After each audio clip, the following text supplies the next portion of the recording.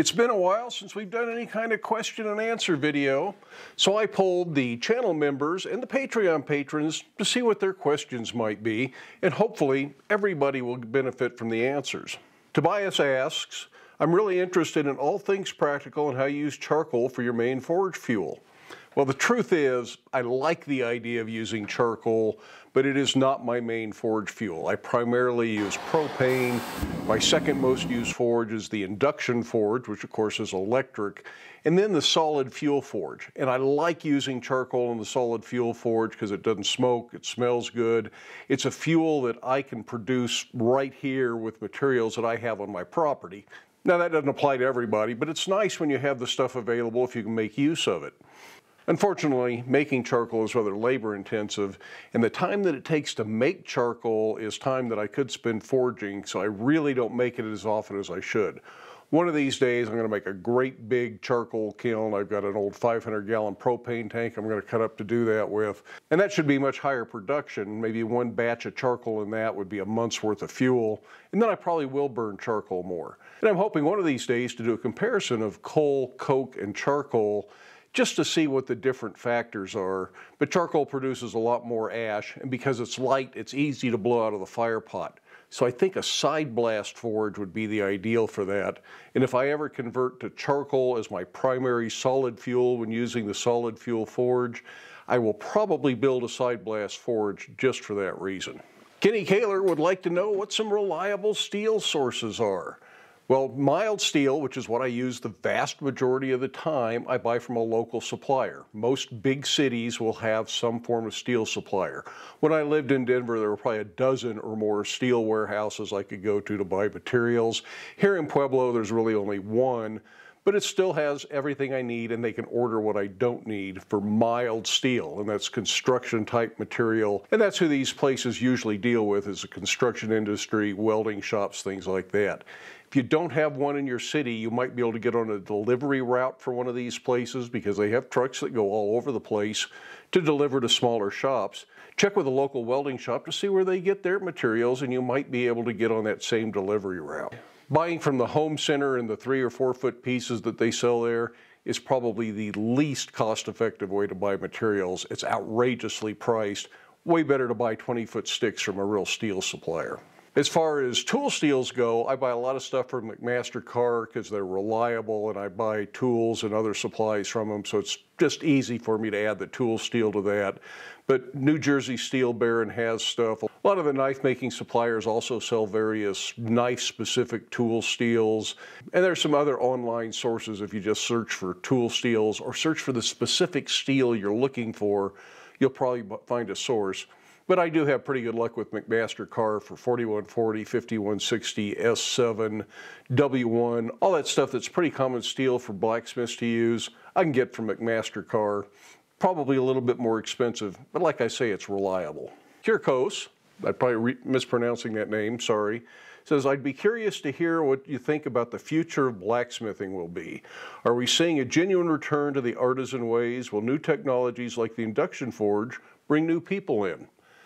I think in some sense we are, although it's hard to say for sure. I certainly see more blacksmiths every day. I see more interesting work, more advanced work being done. But that may be skewed a little bit because the internet makes it so much easier to find all this stuff. So I have a much broader selection of things to look at when I'm looking on the internet to find things. So my perception is there are more people participating, more people trying more advanced work, more people getting away from just making trinkets. But like I say, that may be skewed a little bit. I would like to think that's it. I see more and more younger smiths. I get more questions from younger smiths all the time. I'm seeing more young smiths starting YouTube channels because they're trying to get themselves out there and get noticed. So I really have a hope that blacksmithing is seeing a big renaissance and traditional technique is seeing a renaissance with it. More people learning to forge weld. And it's those of us who are actually active in the craft of blacksmithing that need to encourage the next generation to pick up a hammer and try it out for themselves. Michael would like to know what type of metalwork I find most rewarding. I do like making tools, but my tastes change from time to time. At one time, I thought I was just going to be a knife maker. Then I started doing things for reenactors and thought that's what all I'm ever going to do. I'm just going to do more things for reenactors and do fancier, more detailed work for that. And then I got out of that and was doing woodworking tools. Now I'm starting to look more into more ornamental work, doing some grill work, things like that. So my tastes change, and the thing that I like most about blacksmithing is there's a lot of different variety, and I can explore these different changes in tastes without having to start a whole new craft. The tools I have suit different types of work, and of course, I can make tools that I need for specific projects. One of the things I really want to do in the near future is learn to make locks. I've mentioned that before. It's just something that I have a feeling is going to be two, three months just to get the very basics to the point that I can even make a video. And that means two or three months. I'm not sure what I do for video, so I keep putting it off to make more blacksmithing videos. But one of these days I'll get back to that. And of course, I still want to make all the tools in the Mastermyr chest. I think that would be a whole lot of fun to do, along with the chest as well. Daniel would like to know what hammer gripping technique I use to avoid fatigue. The big thing is to have a hammer that's comfortable for you to swing. Too heavy a hammer is going to cause problems. Too long a handle might cause problems. Too tight a grip is going to cause problems. If you can keep a loose grip so that you're not really squeezing hard and a death grip on this thing, it's going to be a lot easier on your elbows and your shoulders, your wrists. And that really does mean a handle that fits your hand. So if you've got too big a handle and you got to really grip it, or too small a handle and you got to grip it tight to keep it from slipping out, modify the handle, replace the handle, do what you need to do. But also don't try to swing too heavy a hammer. There are people out there that swing six, seven pound hammers all the time. And if they can do that without hurting themselves, that's fine, that's their business. Me, I don't want to swing a hammer more than about three pounds all day long, and a lot of times a two, two and a half pound hammer is much better suited for what I'm doing. So get a hammer that you're comfortable swinging and work up to a heavier hammer. Don't start with a heavy hammer and hope for the best. Tendonitis can take months to heal, and it's going to keep you out of the shop for most of that time. Hayden wants to know, how do you go about finding people to buy what you make? Well, the internet is a great place these days. If you can build an audience on the internet, that's where you're going to find a much broader variety. But if you don't have a website, you don't have a big social media presence, or you're just trying to build that, you might start off at local craft shows, art shows, things like that. And if your work is very specific, very targeted, try to find shows that appeal to that audience. Going to the local Christmas craft show to sell $500 knives probably isn't going to get you any sales. But you might sell a lot of hooks, fireplace pokers, things like that at a craft show like that. Etsy isn't bad, but it can be kind of hit and miss, and I don't know really what the big success on Etsy is. I think I do well on Etsy because of the YouTube channel here, because I have a large Instagram following, and that brings people to my Etsy shop. I don't think Etsy by itself just generate sales. It can. You got to be bringing the people to Etsy from somewhere else. So an internet presence, places like Facebook, YouTube, Instagram, even TikTok, probably helps if you're trying to succeed in selling things online, whether that's Etsy or your own website. The first place I used, sold things was at Mountain Man Rendezvous, and I was making things for the rendezvous, for the reenactment crowd. So that was a perfect match. I'd make the things, I'd take it there. I didn't need to worry about a website or any of that. Of course, at that time, the internet was so new, I would have known how to do that. That's something that's evolved over the years. But if you don't have that direct outlet, I think internet is still the way to go. Colvin asks, what are the local national smithing organizations like Rocky Mountain Smiths and Abana? Rocky Mountain Smiths is our local one. It's a kind of a three or four state group. In fact, we even have some international members. And Abana is the national group in the United States. Canada's got a group. England has a group. I think Australia has a group. And a lot of other countries have national groups. And these national groups usually then have smaller local and regional groups. So Abana, the Artist Blacksmithing Association of North America, has affiliate groups. Rocky Mountain Smiths is one of those affiliate groups. And Abana has groups all over the country. There's groups in California, New York, Texas. You might have to travel to hook up with some of these groups, but it's generally worth it. And a lot of them will have a place that you can camp or you can get a hotel for the night, spend the day at the demo, get to know people and that's really going to jumpstart your blacksmithing if you can get involved with one of these groups. So it's worth tracking them down wherever you live. Robert asks, any trips for forge welding dissimilar metals, carbon steels and high carbon bits to mild steel axe heads? The biggest trick is don't overheat it. The carbon steel is going to weld at a lower temperature than the mild steel is. So if you're inserting the bit, the mild steel on the outside is actually going to heat up faster and get a little bit hotter than the carbon steel on the inside. That's to your benefit in that situation. But there's a crossover there where both of them are at welding heat at the same time. Overheating that carbon steel bit, it just turns to mush, even though the mild steel is at welding temp. So there's just that fine line, it may be a few hundred degrees that crosses over and you can weld. Experiment with different steels. I've had nothing but trouble trying to use O1 as the carbon steel component in axes, adzes, things like that. But I've had very good luck with 5160. Other people say they can never weld 5160s, so it's just up to what experience you have and practice, practice, practice. That's always the best technique.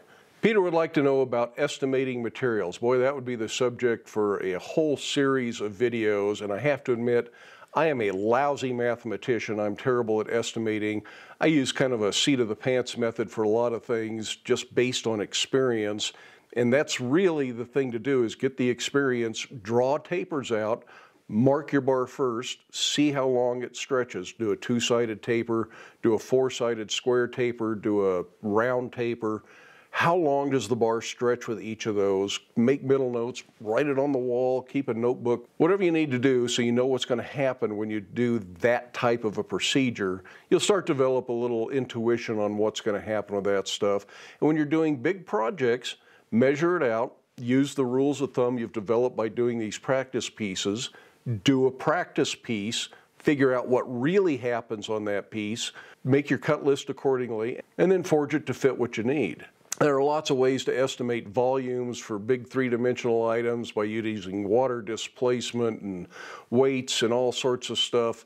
And I don't really get into that. I don't take that precise an approach to most of my blacksmithing. I really like a little bit more freedom in the things I'm forging, although if you're doing big architectural pieces that have to fit, you need to make sure you get those dimensions right. And test pieces are really the key for a lot of that stuff. And, and, of course, familiarize yourself with when to use pi for figuring out circles, areas of circles, circumferences, things like that. And when doing most of that stuff, you're measuring from the center line of the bar, bend this bar this way, and you need to know how much material. Measure from the center line. Half of that bar is going to compress a little bit, half of it's going to stretch. The center line is going to be the most accurate, so you need to work from the center of bars for most of your measurements. Rudolph would like to know about forging a hex end on a bar. That's a tough process. I've never done it really well. Some of these questions I think are going to be good video material. So I think this is one I'm going to try and do for a video and see if I can make that make more sense. How to explain it just talking to the camera, I can't really think of right now. So I'll get back to that, put that on my list of videos to do. How much borax should you use while fluxing? Well, most of us use way too much. It doesn't take much. It really wicks into the joint.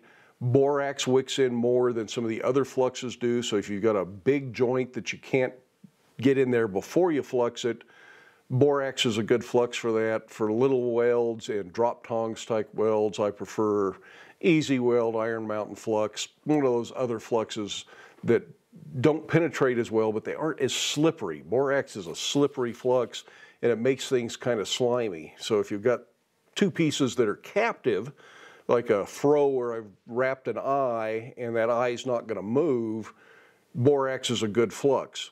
But a drop tongs weld, like you're welding the reins on a set of tongs, the borax will make those pieces squirt apart with the first hammer blow instead of catching the weld with the first hammer blow. So for those, I like something like Easy Weld or the Iron Mountain Flux. And I did do a video on how much flux and kind of showed the effects of more or less flux. And I will see if I can find that and link to that video right up here. Kyle would like to know if I have any tricks or tips in welding 4140 to 4140. I'm not sure I've ever tried to do that. Usually when I'm doing forge welding, it's either mild to mild or mild to a tool steel. I'm not usually trying to weld tool steels to tool steels. That's not something I do a lot of.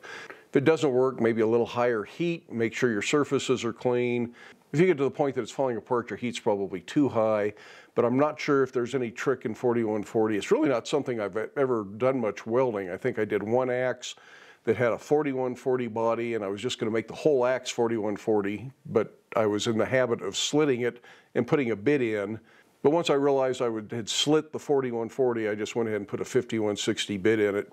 Seemed to work fine, but those are also dissimilar. So I don't know if there's a trick to welding 4140 to 4140 or not.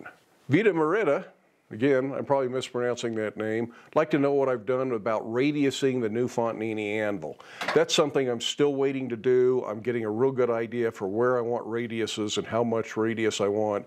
But I didn't want to go after it too soon for fear that I would take too much off and regret it. So I'm going to be adding different radiuses to different parts of the anvil. So when you need a radius, you just have to find the right one but it, none of it's going to be too dramatic. If I need a dramatic radius, I'll get a fuller, do something else. But the edges that come on it are a little bit sharp and they do need to be radiused somewhat. Boy, a lot of these names I can't pronounce. I'm terrible. Sorry about that. When working the end of bar stock, how do you prevent the edges of a piece from forming a crater at the end? People call this fish lips. Sometimes that's to your benefit if you're making an eyeball punch or a rivet set or something and you need a depression. But the biggest thing is to maybe dub back the end of the bar and bevel it before you start drawing it out. Make sure it's hot. Hot bar, you'll get more effect down into the center of the bar, so it'll push the center of the bar out more. If the bar is kind of cold, you're just going to be forging the ends. Also start back a little bit from the end so that you're kind of pushing that bar out before you get right to the edges of it. Bryson has two questions. What do you know now about smithing you wish you knew when you started? Boy, that's a good question. Really, I think the big thing is to get involved with other blacksmiths. We've talked about this already. It's find people that are doing it. Reading books is great. Watching YouTube videos is something I didn't have available back when I started. But actually working with other people, being able to talk one-on-one -on -one with them, seeing what they're doing, looking at their tools, seeing how their shop's set up, that really jump starts you as a blacksmith and that can really help you out. When you start, you don't know what a proper forging heat is. You're either working material too cold or you're overheating it and burning it and ruining it and you don't know why things aren't coming out right. So having help is probably the number one thing. And I resisted that as a young smith because I was self-conscious and I didn't want to get out there and embarrass myself. The thing I wish I'd known is that most of those people really do want to help out and don't worry about embarrassing yourself. The second question, what technique do you use regularly that you didn't when you got started? I suppose that's probably forge welding. Uh, most people don't really like forge welding when they start. They think it's some arcane secret, it's a mystery that they're not going to be able to accomplish. So people avoid forge welding, and I was no different. I didn't know how to forge weld, and it was a long time. I tried, I practiced, I tried it, and it wasn't until I worked with somebody else that knew how to forge weld and could watch over my shoulder and say, that's not hot enough, or that's too hot, or your scarf isn't prepared properly. That's the key to forge welding. And once you learn to forge weld and can incorporate it more into your daily work, it really opens some doors for you. So I think that's probably a technique I didn't use much when I started, and that I use a lot now. And of course I use bigger tooling now than I used when I started, both to reduce the wear and tear on my body and because it's a lot more efficient. And as you grow and as you acquire more tools, you'll acquire some bigger tools eventually. Ken says he has a one inch pry bar that needs to be longer and he wants to know the best connection method to forge weld two pieces that big.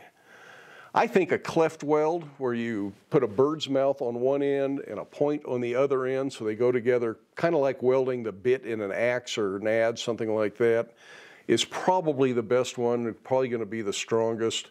Don't know, I've never really tried that. That's not a weld that I've worked with a lot. So that sounds like another thing that would make a good video just to experiment with that welding technique to make a bar longer. Chris wants to know, besides your power hammer, what's the biggest time-saving tool? Boy, that's hard to say. All of the tools can save time. I'm going to guess the gas forge is probably the biggest time saver. Being able to put multiple bars in without fear of burning them up and work on one bar, you go back to the forge, the next one's hot. That really saves a lot of time. That's really efficient for production work. It isn't the best for ornamental work. I think a coal forge, coke, charcoal, something like that is often better for the ornamental work because it's more versatile. You can get round things and other odd shapes into the fire where you need to, where often that doesn't fit back into the gas forge. But for doing a lot of the production work, froes, holdfasts, hinges, things like that, the gas forge really saves a lot of time, and probably more so than the power hammer does. Another thing that saves a lot of time isn't a tool in the shop, but it's just the internet in general, the ability to go look for a supply, material, an answer to a question you have, and find it quickly and easily saves all sorts of time. You can order materials, supplies, have them delivered, and be back in the shop without having to worry about running to town. Now, if you live someplace where that stuff's just 10 minutes down the road, that's great, but most of us don't, and most of us need to order stuff, so the internet can be a real time saver. I actually think we got through all those questions. It's probably a longer video than I meant for it to be. Be safe, wear your safety glasses. We'll see you for the next video.